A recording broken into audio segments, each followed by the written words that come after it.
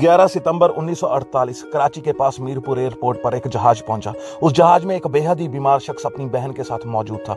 हालत इतनी खराब कि उस शख्स का वज़न सिर्फ़ 40 किलो रह गया था। वो एक स्पेशल प्लेन था जिसने क्वेटा से उड़ान भरी थी। मीरपुर एयरपोर्ट पर मिलिट्री के कुछ लोग, मिलिट्री की कुछ गाड़ियाँ और मिलिट्री की एक एंबुलेंस मौजूद थी। दोपहर को वो स्पेशल प्लेन एयरपोर्ट पर लैंड हुआ। उस बीमार इंसान को स्ट्रेचर पर लेटा कर एंबुलेंस में ले जाया गया। उसकी बहन एंबुलेंस में उसके साथ थी। क्या तभी एक हैरान कर देने वाली बात हुई। ये जानते हुए भी कि उस इंसान की हालत बेहद खराब है। इसके बावजूद भी एंबुलेंस में कोई सीनियर डॉक्टर मौजूद नहीं था। सिर्फ़ एक नर्स हाजिर थी। एंबुलेंस समेत मिलिट्री की गाड़ियाँ एयरपोर्ट से निकली। उन्हें कराची में गवर्नर जनरल हाउस पहुँचना था। गवर्नर जनरल हाउस की दूरी एयरपोर्ट से तकरीबन 30 मिनट की थी। एंबुलेंस के ड्राइवर को मालूम था कि जो शख्स पीछे लेटा हुआ है, उसकी हालत बेहद खराब है। इसलिए ड्राइवर ने सड़क पर मौजूद गड्ढों का ध्यान रखते हुए एंबुलेंस की रफ्तार धीमे रखी। जहाँ तक तो सब कुछ ठीक चल रहा था, लेकिन तभी कुछ ऐसा हुआ जिस पर कोई यकीन नहीं कर सकता। एंबुलेंस बीच सड़क अचानक रुक गई, बंद हो गई। पूछने पर बताया गया कि एंबुलेंस में पेट्रोल खत्म हो चुका था। एक एंबुलेंस जिसका काम ही एमरजेंसी में मरीज़ को अस्पताल पहुँचाने का होता है, उस एंबुलेंस और वो भी मिलिट्री की एंबुलेंस का बीच सड़क रुक जाना, पेट्रोल खत्म हो जाना, ये बात अपने आप ही कई शक पैदा करती है। जिस जगह पर वो एंबुलेंस रुकी, वहाँ सड़क के दोनों तरफ़ खुला इलाका था। हज़ारों की गिनती में तंबू लगे हुए थे, उन तंबुओं में मुहाजिर रहते थे। मुहाजिर वो लोग थे जो बंटवारे के बाद हिंदुस्तान से पाकिस्तान गए थे। वो मुहाजिर बीच सड़क रुकी एंबुलेंस को तो देख रहे थे, लेकिन उन्हें यह मालूम नहीं था कि उस एंबुलेंस में वो शख्स मौजूद था, जिसकी जिद की वजह से हिंदुस्तान और पाकिस्तान का बंटवारा हुआ, जिसकी वजह से पाकिस्तान बना, जिसकी वजह से उन लोगों को हिंदुस्तान में अपना घर बार छोड़कर पाकिस्तान जाना पड़ा। जी हाँ दोस्तों, उस एंबुलेंस में मोहम्मद मोहम्मद अली जिन्ना थे बंटवारे के पहले से ही जिन्ना बीमार थे, वो टीबी के मरीज़ थे, जिन्ना एक दिन में तकरीबन 50 सिगरेट्स पीते थे।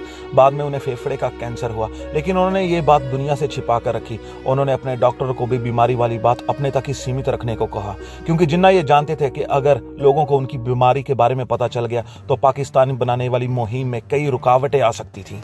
जिन्ना उनकी बहन फातिमा और एक नर्स एंबुलेंस में मौजूद थे।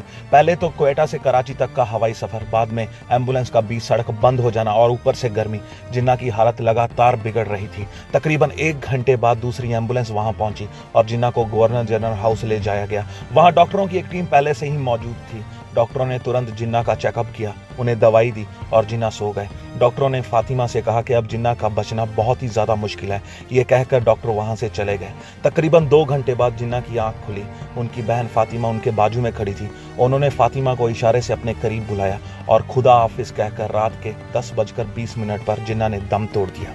जिन्ना एक शिया थे, लेकिन पाकिस्तान की हुकूमत नहीं चाहती थी कि उनका शिया वाला रूप आवाम के सामने आए। वो उनको अंतिम विदाई सुन्नी रीति रवाज से देना चाहते थे। लेकिन फातिमा नहीं मानी, इसीलिए वहीं गवर्नर जनरल हाउस में तीन चार शियाओं को बुलाया गया। उन्हीं के हिसाब से जिन्ना को गुसल करवाया गया, नवाज़ जनाजा पढ़ा गया। उस वक्त वहीं गवर्नर जनरल हाउस में पाकिस्तान के पहले प्रधानमंत्री लियाकत अली खान भी मौजूद थे, क्योंकि वो एक सुन्नी थे, इसीलिए उनको शियाओं की रस्मों में शामिल नहीं किया गया। बाद में फातिमा ने अपनी भाई की लाश हुकूमत को सौंप दी। जिन्ना को पूरे राष्ट्र राष्ट्रीय सम्मान के साथ सुन्नी तरीके से अंतिम विदाई दी गई। जिन्ना की मौत हो चुकी थी, लेकिन उनकी मौत पीछे कई सवाल छोड़ गई। फातिमा को हमेशा से शक था कि जिन्ना को एक साजिश के ज़रिए मारा गया। उसके पीछे भी कई कारण थे। जिन्ना की मौत के बाद फातिमा को आवाम के सामने कभी बोलने नहीं दिया गया। तीन साल बाद जिन्ना की तीसरी बरसी पर पाकिस्तानी हुकूमत ने रेडियो के ज़रिए फातिमा को बोलने का पहला मौका दिया। फातिमा रेडियो पर बात कर रही थी, अपना पैगाम लोगों तक पहुँचा रही थी। लेकिन जैसे ही फातिमा ने 11 सितंबर 1948 की बात करना शुरू की। एंबुलेंस में पेट्रोल खत्म हो जाने की बात करना शुरू की। तभी उसी वक्त लाइव प्रसारण को बीच में ही रोक दिया गया। इस हादसे के बाद फातिमा का शक यकीन में बदल गया। फातिमा ने माई ब्रदर नाम की एक किताब भी लिखी। पहले तो उस किताब पर रोक लगा दी गई। बहुत साल बाद जब वो किताब छपी तो उसमें से कई अहम चीज़ें गायब थी। फातिमा का कहना था कि जिन्ना के करीबियों ने ही उनके साथ विश्वासघात किया, उनको मरवाया। अगर वो लोग जिन्ना को धोखा ना देते तो शायद उनके भाई की उम्र थोड़ी और लंबी होती। आखिरी दिनों में जिन्ना के करीबियों ने ही उनसे दूरियाँ बना ली थी। जो लोग जिन्ना को मिलने भी आते थे, वो लोग उनका हालचाल पूछने के लिए नहीं, बल्कि ये देखने आते थे कि जिन्ना कितने दिन और ज़िंदा रहेंगे। पाकिस्तान में हुकूमत के लिए भी जंग छिड़ चुकी थी। लियाकत अली खान, जो जिन्ना की वजह से पाकिस्तान के पहले प्रधानमंत्री बने, उनके साथ भी जिन्ना के रिश्ते आखिरी दिनों में अच्छे नहीं थे। जिन्ना को लियाकत अली खान की कई चीज़ें बिल्कुल भी पसंद नहीं थी, और उनमें से एक थी धार्मिक कट्टरवाद। हालाँकि जिन्ना ने धर्म के आधार पर पाकिस्तान की नींव रखी थी, लेकिन वो चाहते थे कि पाकिस्तान में ऐसा संविधान हो जिसमें सभी धर्मों को, सभी धर्मों के लोगों को बराबर का हक मिले, सम्मान मिले।